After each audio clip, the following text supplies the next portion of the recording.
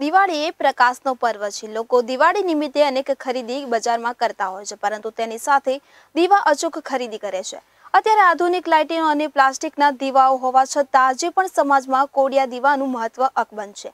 ડીસા તાલુકાના જેરડા ગામે બનતા કોડિયા ન માત્ર દેશમાં, પણ વિદેશમાં પણ સંસ્કૃતિને જીવંત રાખે છે, પરંતુ કોરોના મહામારીમાં કોડિયાને કોરોનાનું ગ્રહણ લાગ્યું છે. કારીગરનો કોઈ ધર્મ નથી હોતો, આ કહેવત સાચી સાબિત થઈ છે. બનાસકાંઠા જિલ્લાના ડીસા તાલુકાના ઝીરડા ગામે કે જ્યાં વર્ષોથી એક મુસ્લિમ પરિવાર બનાવે છે દિવાળીના દીવા માટે કોડિયા વર્ષો પહેલા સુમરા પરિવાર પોતાના ગામ અને આજુબાજુના ગામ માટે દિવાળી નિમિત્તે માટીમાંથી કોડિયા બનાવતા હતા.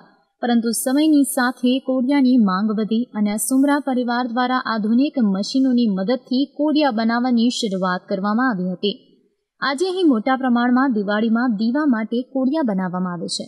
સમગ્ર વર્ષ દરમિયાન આ સુમરા પરિવાર કોડિયા બનાવે છે, તેમ છતાં તેઓ માત્ર પચીસ લાખ જેટલા જ કોડિયા બનાવી શકે છે.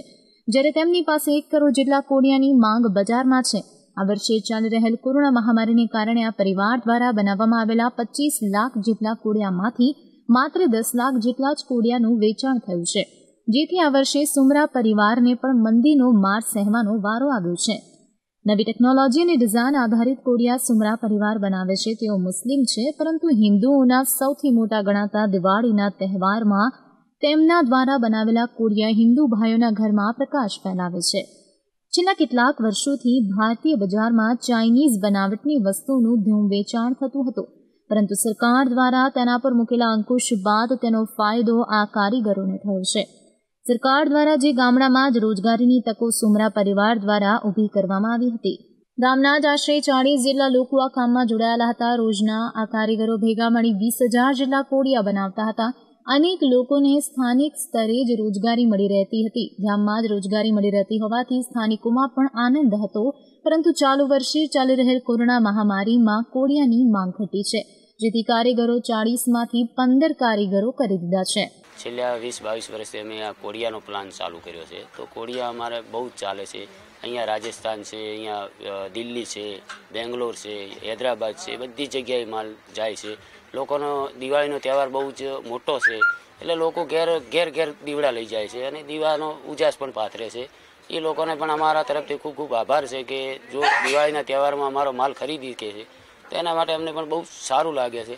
પણ આ વખતે જો આ મહામારી આવી છે તો મહામારીના કારણે એવું બધું પોઝિશન છે કે વીસ, પચીસ લાખ કોળિયા બનાવ્યા છે. એની જગ્યાએ ફક્ત પાંચ, છ લાખ કોળિયા ઉપડ્યા છે. ડીસા તાલુકાના જીરડા ગામમાં સુમરા પરિવાર દ્વારા દર વર્ષે લાખોની સંખ્યામાં નવી નવી ડિઝાઇનના કુડિયા બનાવવામાં આવે છે, જેને કારણે ગ્રાહકોમાં આવા કુડિયાની સૌથી વધુ માંગ રહેતી હોય છે.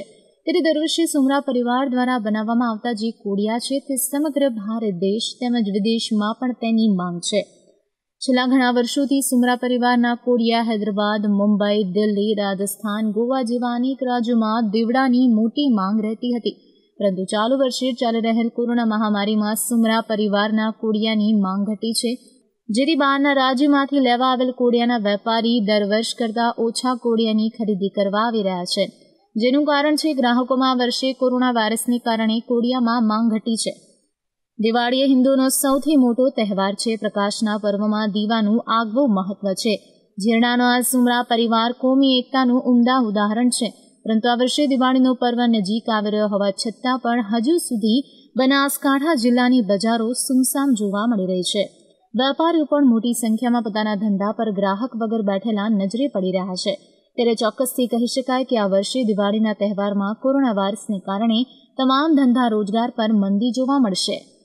વિકાસ પ્રજાપતિ સાથે રાજ ગજ્જર લાઈવ ગુજરાત ન્યૂઝ ડીસા